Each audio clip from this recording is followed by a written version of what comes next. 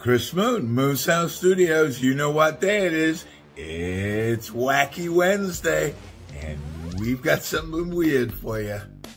This may be the largest production subwoofer in the world.